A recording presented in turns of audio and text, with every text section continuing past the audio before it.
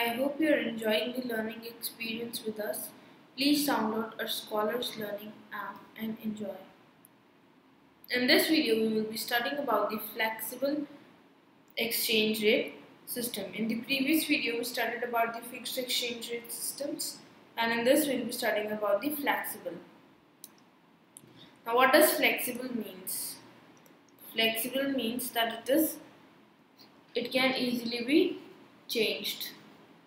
It can go up, it can go down. So your flexible exchange rate is that exchange rate which is determined by the demand for and supply of different currencies in the foreign exchange market. So it is determined by the market forces.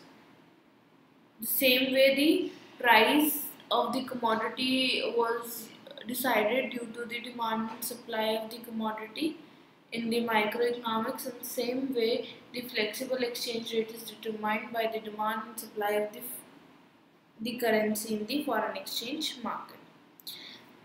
The market where foreign currencies are demanded and supplied is called foreign exchange market. So we can write it down as flexible exchange rate. It is that rate which is determined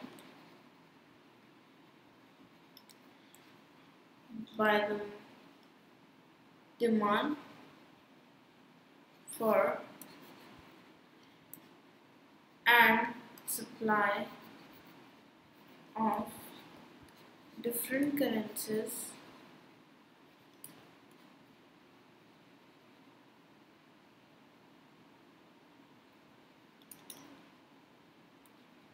in the foreign exchange market.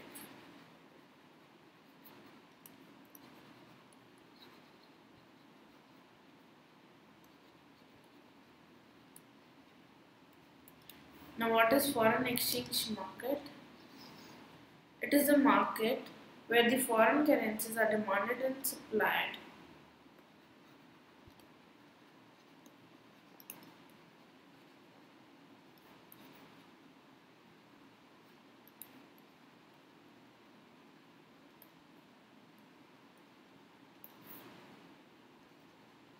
are demanded and supplied.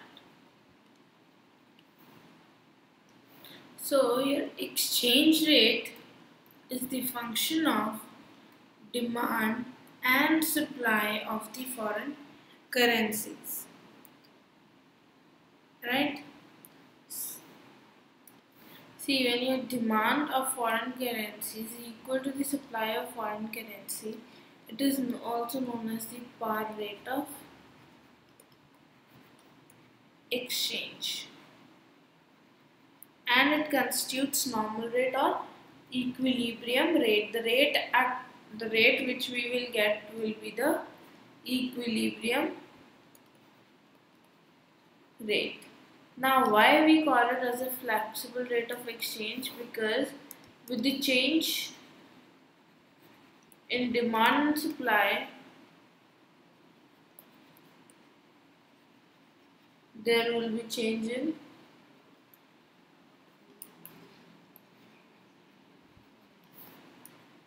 the rate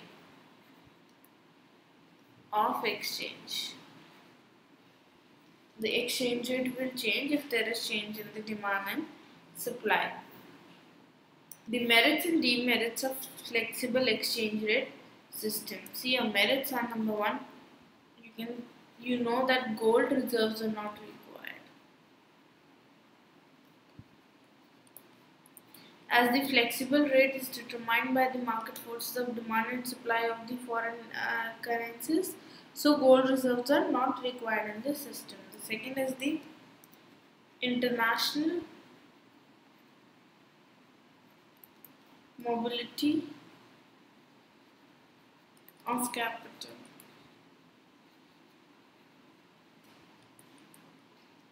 Now see the flexible exchange rate encourages the mobility of capital across nations.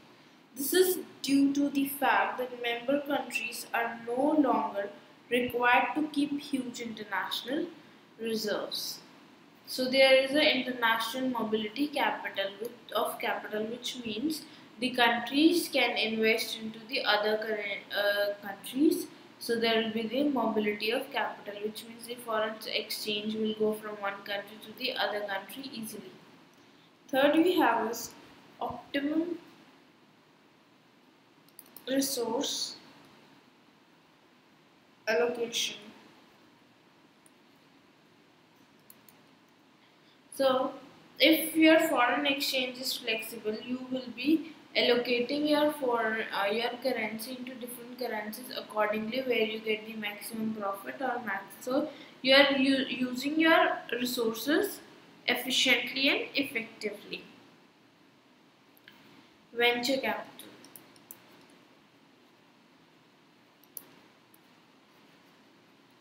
A flexible rate promotes venture capital in the foreign exchange market Trading in international currencies itself become an important economic activity. So what happens? If there is flexible exchange rate you can trade in the foreign currencies. You know about the share market. There is also a forex market similarly as the equity market. So in forex market the foreign currencies are traded due to the flexible exchange rate. So it gives growth to the venture capital Now the demerits are number one is your market instability. See flexible exchange rate means you you see that the one dollar is equal to sixty four point six zero rupees today and one dollar is equal to sixty five point five two rupees tomorrow. So this is very flexible right? This exchange rate is very flexible. So this gives the investors a high risk factor. So this causes the market instability. The second is policy formulation becomes difficult. See if your foreign the exchange rate is not stable, it keeps on fluctuating every minute, then the how will you form the policy? So policy formations become very difficult in that case. Bilateral trade agreements becomes difficult.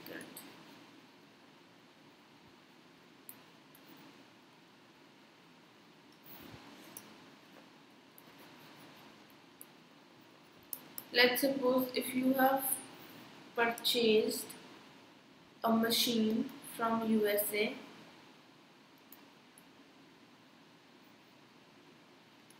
at that day you need to pay 64.60 rupees for one US dollar. But when you have to make the payment the US dollar now have become 72 rupees 0.50 which means the time you ordered for the machinery you need to pay only this rupee uh, this rupees for one dollar. But now the machinery is delivered to you now the payment date. Here you have to make this rupee payment for one dollar.